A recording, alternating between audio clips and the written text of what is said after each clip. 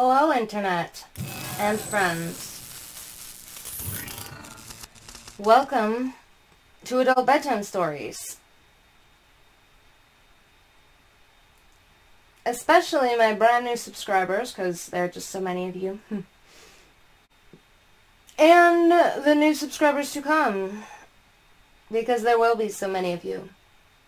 Hint, hint. Please subscribe if you are not already. Ring the notification bell because I don't really have a schedule, but if you guys want to uh, tell me the best day and time that you think you would like to see my videos uploaded when you would watch them, let me know in the comments because I'm not opposed to uh, picking, you know, a schedule to upload like one time a week or twice if I feel like it.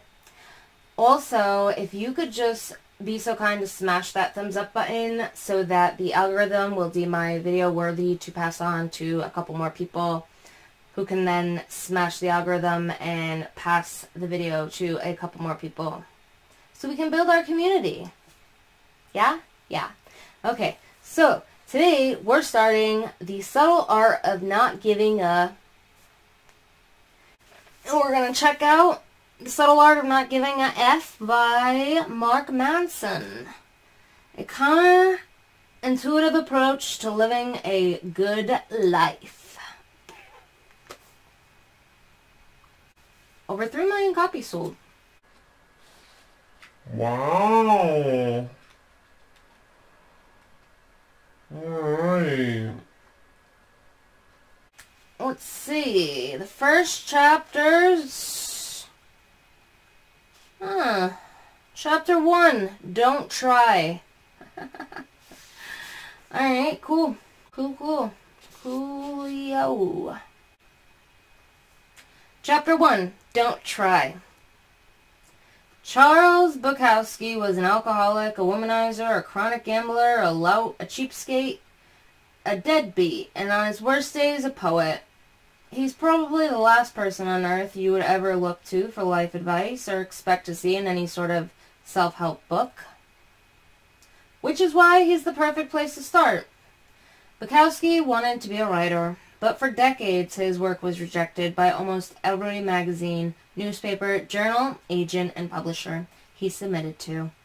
His work was horrible, they said, crude, disgusting, depraved, and as the stacks of rejection slips piled up, the weight of his failures pushed him deep into an alcohol-fueled depression that would follow him for most of his life. Bukowski had a day job as a letter filer at a post office. He got paid shit money and spent most of it on booze. He gambled away the rest at the racetrack. At night, he would drink alone and sometimes hammer out poetry on his beat-up old typewriter. Often, he'd wake up on the floor having passed out the night before. Thirty years went by like this, most of it a meaningless blur of alcohol, drugs, gambling, and prostitutes. Then, when Bukowski was 50 after a lifetime of failure and self-loathing, an editor at a small independent publishing house took a strange interest in him. The editor couldn't offer Bukowski much money or much promise of sales, but he had a weird affection for the drunk loser, so he decided to take a chance on him. It was the first real shot Bukowski had ever gotten, and he realized probably the only one he would ever get. Bukowski wrote back to the editor, I have one of two choices, stay in the post office and go crazy, or stay out here and play at writer and starve. I have decided to starve. You go, Bukowski. Upon signing the contract, Bukowski wrote his first novel in three weeks. It was called simply Post Office. In the dedication he wrote, Dedicated to Nobody. Bukowski would make it as a novelist and poet. He would go on and publish six novels and hundreds of poems, selling over two million copies of, of his books. His popularity defied everyone's expectations, particularly his own. Stories like Bukowski's are the bread and butter of our cultural narrative. Bukowski's life embodies the American dream. A man fights for what he wants, never gives up, and eventually achieves his wildest dreams. It's practically a movie waiting to happen. We all look at stories like Bukowski's and say, see, he never gave up. He never stopped trying. He always believed in himself. he persisted against all the odds and made something of himself. It is then strange that on Bukowski's tombstone, the epitaph reads, Don't try. See, despite the book sales and the fame, Bukowski was a loser. He knew it, and his success stemmed not from some determination to be a winner, but from the fact that he knew he was a loser, accepted it, and then wrote honestly about it. He never tried to be anything other than what he was. The genius in Bukowski's work was not in overcoming unbelievable odds or developing himself into a shining literary light. It was the opposite. It was his simple ability to be completely unflinchingly honest with himself, especially the worst parts of himself, and to share his failings without hesitation or doubt. This is the real story of Bukowski's success. His comfort with himself as a failure, Bukowski didn't give a fuck about success. Even after his fame, he still showed up to poetry readings, hammered and verbally abused people in his audience. He still exposed himself in public and tried to sleep with every woman he could find. Fame and success didn't make him a better person. Nor was it by becoming a better person that he became famous and successful. Self-improvement and success often occur together, but that doesn't necessarily mean they're the same thing. Our culture today is obsessively focused on unrealistically positive expectations. Be happier, be healthier, be the best, better than the rest. Be smarter, faster, richer, sexier.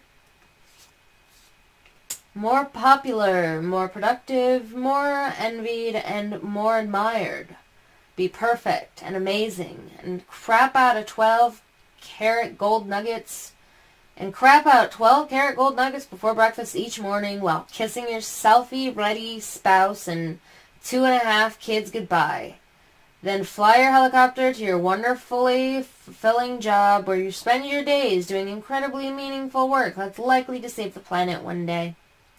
But when you stop and really think about it, conventional life advice, all the positive and happy self-help stuff we hear all the time, is actually fixating on what you lack. It lasers in on what you perceive your personal shortcomings and failures to already be, and then emphasizes them for you. You learn about the best ways to make money because you feel you don't have enough money already. You stand in front of the mirror and repeat affirmations saying that you're beautiful because you feel as though you're not beautiful already. You follow dating and relationship advice because you feel that you're unlovable already. You try goofy visualization experience ex- visualization exercises about being more successful because you feel as though you aren't successful enough already. Ironically, this fixation on the positive, on what's better, what's superior, only serves to remind us over and over again of what we are not, of what we lack, of what we should have been but failed to be. After all, no truly happy person feels the need to stand in front of a mirror and recite that she's happy. She just is. There's a saying in Texas, the smallest dog barks the loudest. A confident man doesn't feel a need to prove that he's confident. A rich woman doesn't feel a need to conceive. Anybody feel a need to convince anybody that she's rich. Either you are or you're not. And if you're dreaming of something all the time, then you're reinforcing the same unconscious reality over and over, that you are not that. Everyone in their TV commercial wants you to believe that the key to a good life is a nicer job or a more rugged car or a prettier girlfriend or a hot tub with an inflatable pool for the kids. The world is constantly telling you that the path to a better life is more, more, more. Buy more, own more, make more, fuck more, be more. You are constantly bombarded with messages to give a fuck about everything all the time. Give a fuck about a new TV. Give a fuck about having a better vacation than your coworkers. Give a fuck about buying that new lawn ornament. Give a fuck about having the right kind of selfie stick. Why? My guess, because giving a fuck about more stuff is good for business. And while there's nothing wrong with good business, the problem is that giving too many fucks is bad for your mental health. It causes you to become overly attached to the superficial and fake, to dedicate your life to chasing a mirage of happiness and satisfaction. The key to a good life is not giving a fuck about more. It's giving a fuck about less, giving a fuck about only what is true and immediate and important. The feedback loop from hell. There's an insidious quirk to your brain that, if you let it, can drive you absolutely batty. Tell me if this sounds familiar to you. Get anxious about confronting somebody in your life. That anxiety cripples you and you start wondering why you're so anxious. Now you're becoming anxious about being anxious. Oh no. Doubly anxious. Now you're anxious about your anxiety, which is causing more anxiety. Quick, where's the whiskey? Or let's say you have an anger problem. You get pissed off at the stupidest, most insane stuff, and you have no idea why. And the fact that you get pissed off so easily starts to piss you off even more. And then, in your petty rage, you realize that being angry all the time makes you a shallow and mean person, and you hate this. You hate it so much that you get angry at yourself. Now look at you. You're angry at yourself, getting angry about being angry. Fuck you all. Here, have a fist. Or you're so worried about doing the right thing all the time that you become worried about how much you're worrying. Or you feel so guilty for every mistake you make that you begin to feel guilty about how guilty you're feeling. Or you get sad and alone so often that it makes you feel even more sad and alone just thinking about it. Welcome to the feedback loop from hell. Chances are you've engaged in it more than a few times. Maybe you're engaging in it right now. God, I do the feedback loop all the time. I'm such a loser for doing it. I should stop. Oh my god. I feel like such a loser for calling myself a loser. I should stop calling myself a loser. Ah, fuck, I'm doing it again. See? I'm a loser. Ark. Calm down, amigo. Believe it or not, this is a part of the beauty of being a human. Very few animals on Earth have the ability to think cognate thoughts to begin with, but we humans have the luxury of being able to have thoughts about our thoughts. So, I can think about watching Miley Cyrus videos on YouTube and then immediately think about what a sicko I am for wanting to watch Miley Cyrus videos on YouTube. Ah, the miracle of consciousness. Now here's the problem. Our society today, through the wonders of consumer culture and hey, look at my life, it's cooler than yours, social media, has bred a whole generation of people who believe that having these negative experiences, anxiety, fear, guilt, etc., is totally not okay. I mean, if you look at your Facebook feed, everybody there is having a fucking grand old time. Look, eight people got married this week, and some 16-year-old on TV got a Ferrari for her birthday. And another kid just made $2 billion inventing an app that automatically delivers you more toilet paper when you run out. Meanwhile, you're stuck at home flossing your cat, and you can't help but think your life sucks even more than you thought. The feedback loop from hell has become a borderline epidemic, making many of us overly stressed, overly neurotic, and overly self-loathing. Back in Grandpa's day, he would feel like shit and think to himself, Gee whiz, I sure do feel like a cow turd today. But hey, I guess that's just life. Back to shoveling hay. But now? Now if you feel like shit for even five minutes, you're bombarded with 350 images of people totally happy and having amazing fucking lives. And it's impossible to not feel like there's something wrong with you. It's this last part that gets us into trouble. We feel bad about feeling bad. We feel guilty for feeling guilty. We feel angry about getting angry. We get anxious about feeling anxious. What is wrong with me? This is why not giving a fuck is so key. This is why it's going to save the world. And it's going to save it by accepting that the world is totally fucked. And that's alright, because it's always been that way and always will be. By not giving a fuck that you feel bad, you short-circuit the feedback loop from hell and say to yourself, I feel like shit, but who gives a fuck? And then, as if sprinkled by magic fuck-giving fairy dust, you stop hating yourself for feeling so bad.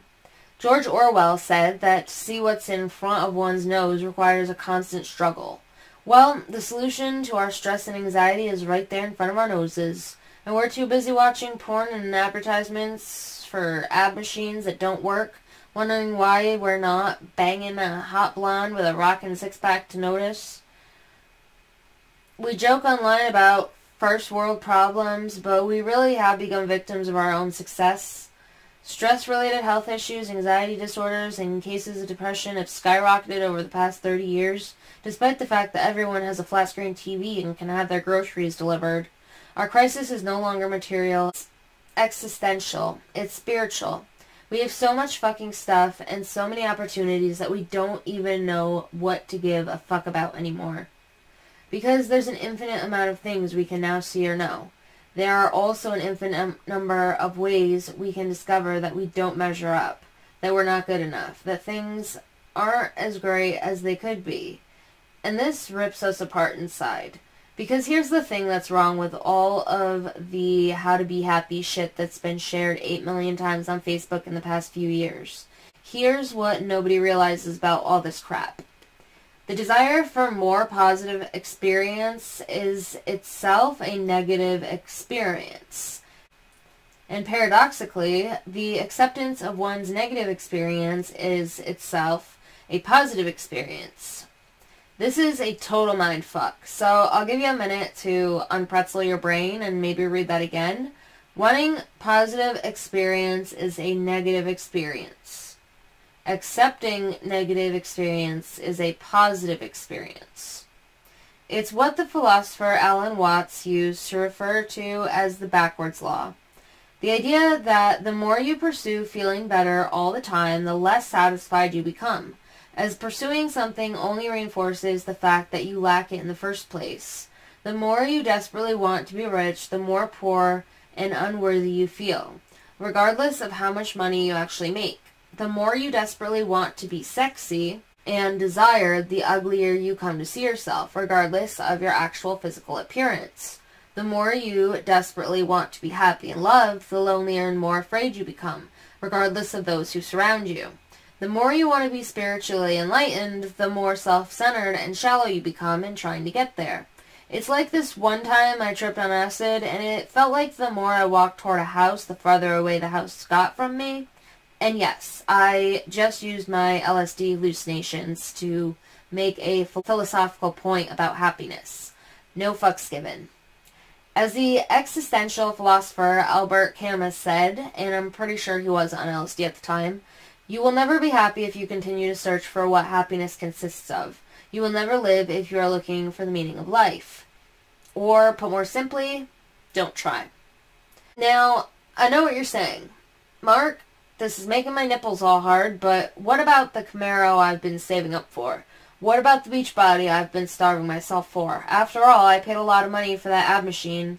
What about the big house on the lake I've been dreaming of? If I stop giving a fuck about those things, well, then I'll never achieve anything. I don't want that to happen, do I? So glad you asked. Ever notice that sometimes when you care less about something, you do better at it? Notice how it's often the person who is the least invested in the success of something that actually ends up achieving it? Notice how sometimes when you stop giving a fuck, everything seems to fall into place? What's with that? That's what's interesting about the backwards law is that it's called backwards for a reason. Not giving a fuck works in reverse. If pursuing the positive is a negative, then pursuing the negative generates the positive. The pain you pursue in the gym results in better all-around health and energy. The failures in business are what lead to a better understanding of what's necessary to be successful. Being open with your insecurities paradoxically makes you more confident and charismatic around others. The pain of honest confrontation is what generates the greatest trust and respect in your relationships. Suffering through your fears and anxieties is what allows you to build courage and perseverance. Seriously, I could keep going, but you get the point. Everything worthwhile in life is won through surmounting the associated negative experience. Any attempt to escape the negative, to avoid it or squash it or silence it, only backfires. The avoidance of suffering is a form of suffering. The failure, hiding what is shameful, is itself a form of shame. Pain is an inextricable thread in the fabric of life, and to tear it out is not only possible, but destructive. Attempting to tear it out unravels everything else with it. To try to avoid pain is to give too many fucks about pain. In contrast, if you're able to not give a fuck about the pain, you become unstoppable. In my life, I have given a fuck about many things. I've also not given a fuck about many things. And like the road not taken, it was the fucks not given that made all the difference. Chances are you know somebody in your life who at one time or another did not give a fuck. and then went on to accomplish amazing feats. Perhaps there was a time in your own life when you simply did not give a fuck and excelled to some extraordinary height. For myself, quitting my day job in finance after only six weeks to start an internet business ranks pretty high up there in my own didn't give a fuck Hall of Fame. Same with deciding to sell most of my possessions and move to South Africa. Fucks given? None. Just went and did it. These moments of non-fuckery are the moments that most define our lives. The major switch in careers, the spontaneous choice to drop out of college and join a rock band, the decision to finally dump that deadbeat boyfriend whom you caught wearing your pantyhose a few too many times. To not give a fuck is to stare down life's most terrifying and difficult challenges and still take action. While not giving a fuck may seem simple on the surface, it's a whole new bag of burritos under the hood. I don't even know what that sentence means, but I don't give a fuck. A bag of burritos sounds awesome, so let's just go with it. That's so weird because my dad literally just made up the phrase a bag of donuts the other day. I mean, unless he didn't make that up, but he said he did. And I believed him, so I never heard it. um, most of us struggle throughout our lives by giving too many fucks in situations where fucks do not deserve to be given. We give too many fucks about the rude gas station attendant who gave us our change in nickels. We give too many fucks when a show we liked was canceled on TV. We give too many fucks when our coworkers don't bother asking us about our awesome weekend. Meanwhile, our credit cards are maxed out, our dog hates us, and Junior is snorting meth in the bathroom. Yet we're getting pissed off about nickels and everybody loves Raymond. That escalated quickly. Look, this is how it works. You're going to die one day. I know it's kind of obvious, but I just want to remind you in case you'd forgotten. You and everyone you know are going to be dead soon, and in the short amount of time between here and there, you have a limited amount of fucks to give. Very few, in fact. And if you go around giving a fuck about everything and everyone without conscious thought or choice, well, then you're going to get fucked.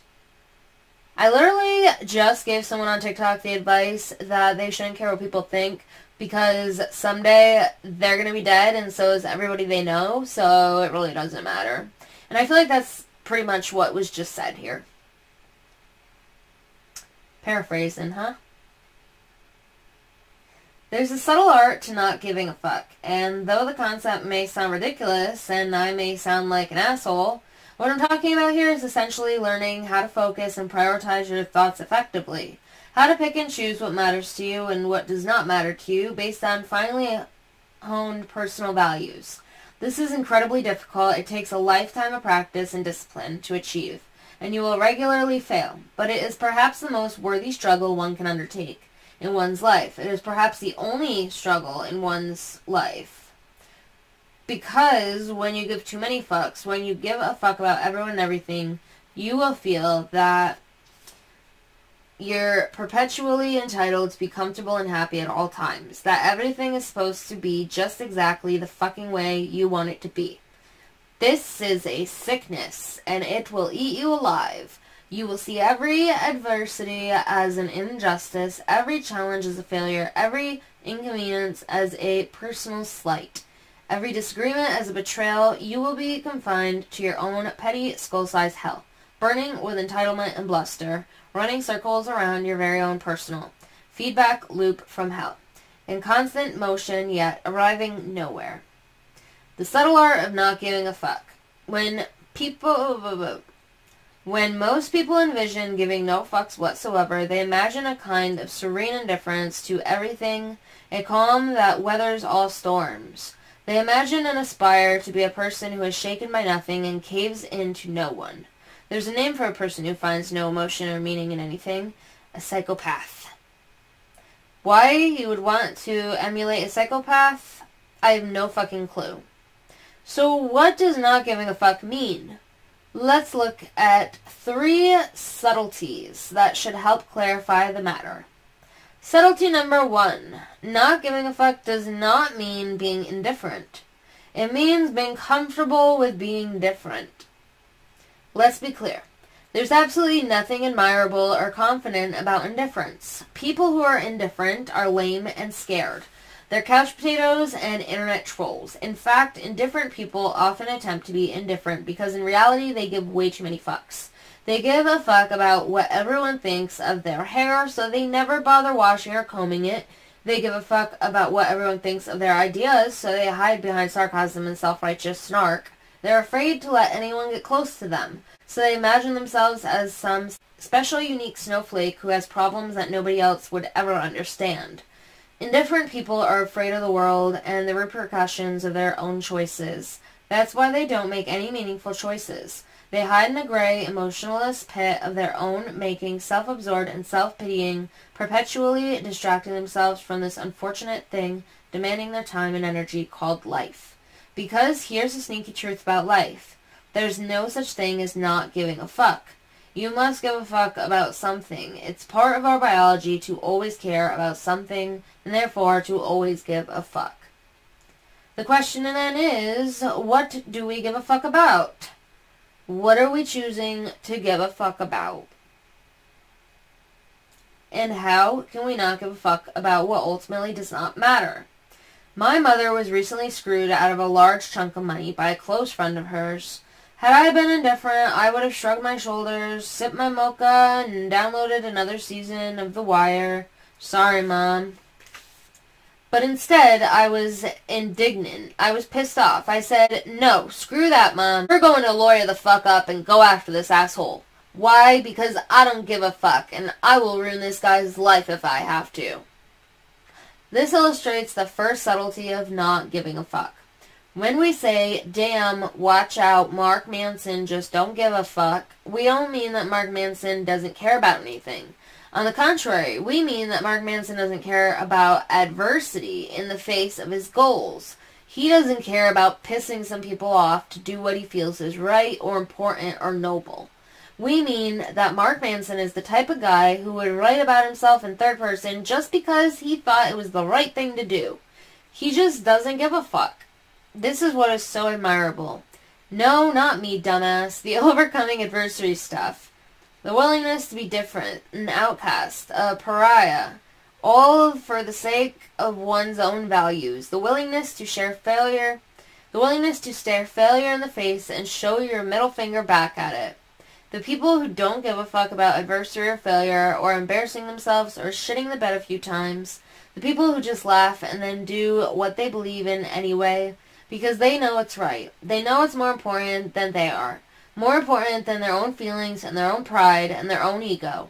They say, fuck it. Not to everything in life, but rather to everything unimportant in life. They reserve their fucks for what truly matters. Friends, family, purpose, burritos, and an occasional lawsuit or two. And because of that, because they reserve their fucks for only the big things that matter, people give a fuck about them in return. Because here's another sneaky little truth about life. You can't be an important and life-changing presence for some people without also being a joke and an embarrassment to others. You just can't, because there's no such thing as a lack of adversity. It doesn't exist. The old saying goes that no matter where you go, there you are. Well, the same is true for adversity and failure. No matter where you go, there's a 500 pound load of shit waiting for you. And that's perfectly fine. The point isn't to get away from the shit. The point is to find the shit you enjoy dealing with. Subtlety number two. To not give a fuck about adversity, you must first give a fuck about something more important than adversity. Imagine you're at a grocery store and you watch an elderly lady scream at the cashier, berating him for not accepting her 30 cent coupon. Why does this lady give a fuck? It's just 30 cents. I'll tell you why. That lady probably doesn't have anything better to do with her days than to sit at home cutting out coupons. She's old and lonely, her kids are dickheads and never visit, she hasn't had sex in over 30 years, she can't fart without extreme lower back pain, her pension is on its last legs, and she's probably going to die in a diaper thinking she's in Candyland. So she snips coupons. That's all she's got. It's her and her damn coupons. It's all she can give a fuck about because there is nothing else to give a fuck about. And so when that pimply-faced 17-year-old cashier refuses to accept one of them, when he defends his cash register's purity the way knights used to defend maidens' virginity, You can bet Granny's going to erupt. Eighty years of fucks will rain down all at once like fiery hailstorm of back in my day and people used to show more respect stories. The problem with people who hand out fucks like ice cream at a goddamn summer camp is that they don't have anything more fuck-worthy to dedicate their fucks to. If you find yourself consistently giving too many fucks about trivial shit that bothers you, your ex-boyfriend's new Facebook pictures, how quickly the batteries die in the TV remote, missing out on yet another two-for-one sale on hand sanitizer, chances are you don't have much going on in your life to give a legitimate fuck about. And that's your real problem. Not the hand sanitizer, not the TV remote. I once had an artist say that when a person has no problems, the mind automatically finds a way to invent some. I think what most people, especially educated, pampered, middle-class white people, consider life problems are really just side effects of not having anything more important to worry about. It then follows that finding something important and meaningful in your life is perhaps the most productive use of your time and energy because if you don't find that meaningful something, your fucks will be given to meaningless and frivolous causes. Subtlety number three. Whether you realize it or not, you are always choosing what to give a fuck about. People aren't just born not giving a fuck. In fact, we're born giving way too many fucks. Ever watch a kid cry his eyes out because his hat is the wrong shade of blue? Exactly. Fuck that kid. When we're young, everything is new and exciting, and everything seems to matter so much. Therefore, we give tons of fucks. We give a fuck about everything and everyone. About what people are saying about us, about whether that cute boy girl called us back or not, about whether our socks match or not, or what color our birthday balloon is. As we get older, with benefit of experience and having seen so much time slip by, we begin to notice that most of these sorts of things have little lasting impact on our lives. Those people whose opinions we cared about so much before are no longer present in our lives. Rejections that were painful in the moment have actually worked out for the best. We realize how little attention people pay to the superficial details about us, and we chose not to obsess so much over them. Essentially, we become more selective about the fucks we're willing to give. This is something called maturity. It's nice. You should try it sometime. Maturity is what happens when one learns to only give a fuck about what's truly fuckworthy. As Bunk Moreland said to his partner, Detective McNulty in The Wire, which, fuck you, I still downloaded, that's what you get for giving a fuck when it wasn't your turn to give a fuck. Oh, my foot's asleep. Then, as we grow older and enter middle age, something else begins to change. Our energy level drops, our identity solidifies, we know who we are, and we accept ourselves, including some of the parts we aren't thrilled about. And, in a strange way, this is liberating.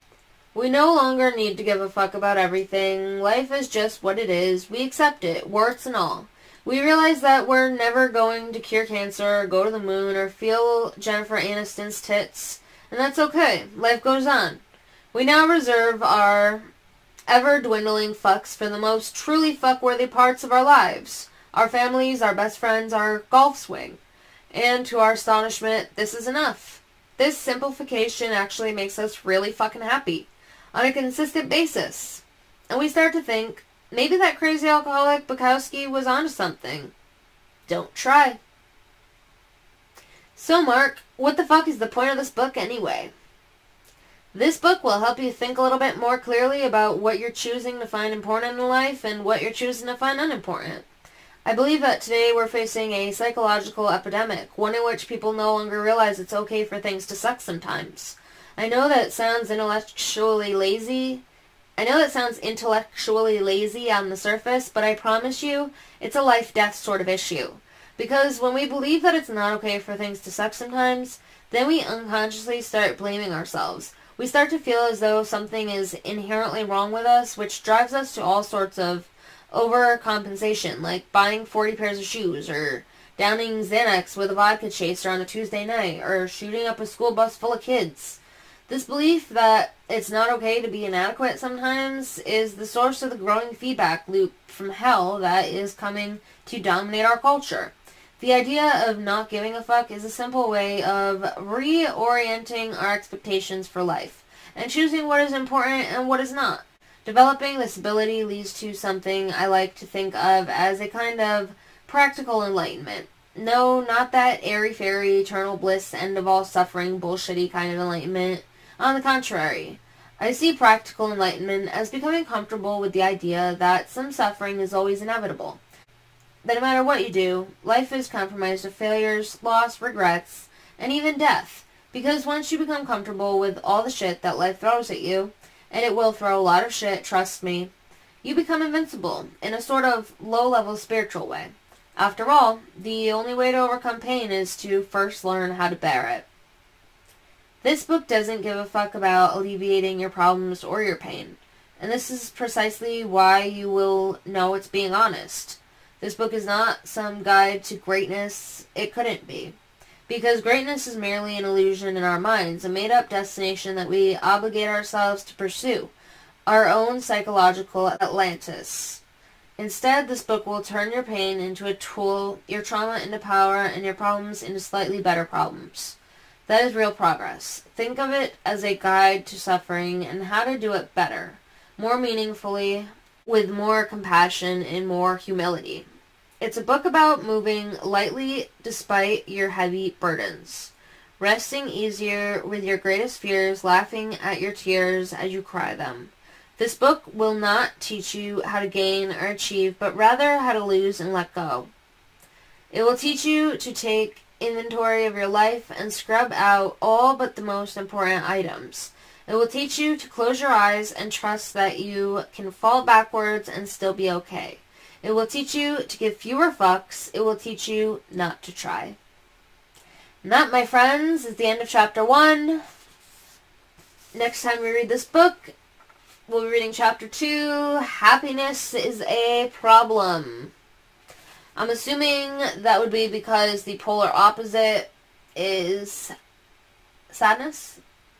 So if we didn't have happiness, we wouldn't have sadness. I don't know. Probably because happiness is not a state of homeostasis, so that kind of fucks you. So, sorry about the language in this book if you're somebody who does not like stuff like that. I know my little cousin does not enjoy things like that at all. Um, so I apologize. I'm going to put that in the title, um, explicit language, just so people know. And I'm sure that these books will never be monetized, but I don't think that I'm allowed to monetize um, reading someone else's books anyway, so it don't matter. Look how well our good news is coming. It's good, it's good. Alright, thank you so much, friends, for letting me read to you. If you're not already subscribed, please do that. If you want to help think of a name for our little community here, little family, put suggestions in the comments. You can also put suggestions of the day and or time that you think would be good to be our scheduled upload day. I upload once a week and then twice a week when I feel like it.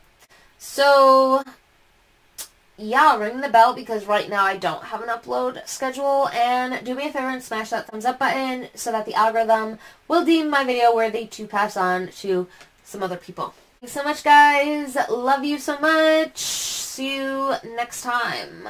I'll probably put a Shakespeare video up. Don't worry, that's not going to count as a, one of you guys' videos.